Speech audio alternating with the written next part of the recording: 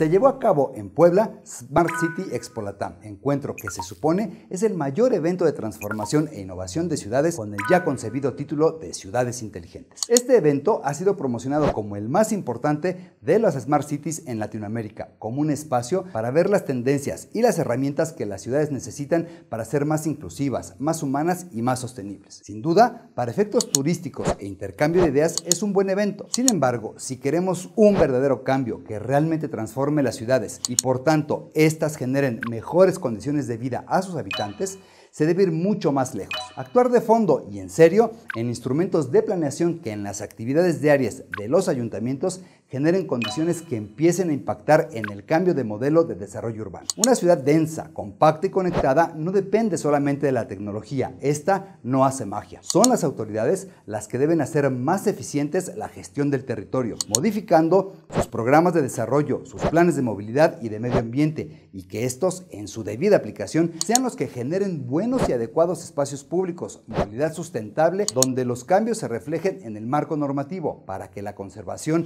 de áreas naturales, la oferta turística, áreas rurales, usos de suelo, vivienda, vialidad, transporte, equipamiento y patrimonio histórico reviertan el daño causado al territorio e inicie la construcción de una verdadera ciudad inteligente.